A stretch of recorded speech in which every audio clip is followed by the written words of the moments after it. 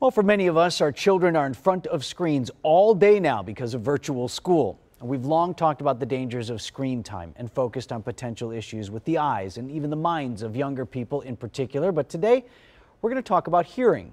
What about those earbuds and the headphones that so many have on for hours and hours?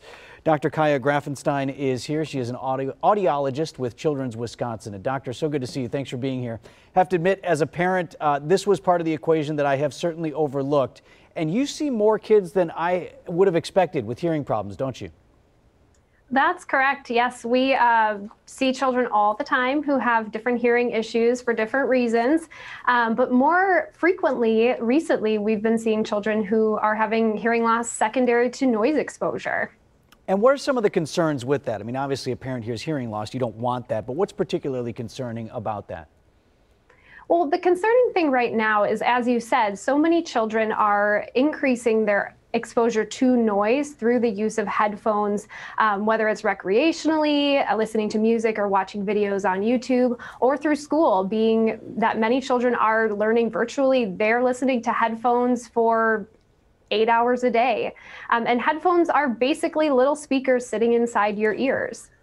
We're talking with uh, Dr. Kaya Grafenstein, who is an audiologist at Children's Wisconsin. So, doctor, what are the, the simple solutions, at least in terms of preventative maintenance, that parents should be keeping an eye on?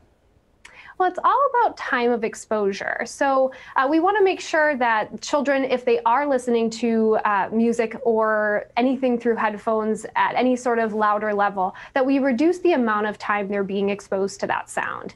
I like to remind parents that if you're able to hear the sound uh, through the child's headphone while you're standing next to them, it's too loud. So remind your child to take that volume down and then reduce the amount of time they're listening to that sound, whether it's music, instruction instruction, um, anything like that.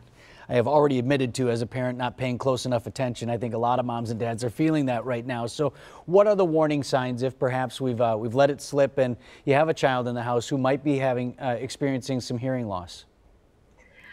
Unlike what we kind of think of when we think of somebody having hearing loss, um, it's not as though the child won't be able to hear anything. Mm-hmm. Uh, it's that they may be mishearing something. So if somebody has hearing loss secondary to noise exposure, things might sound muffled and they may mishear uh, what's being said.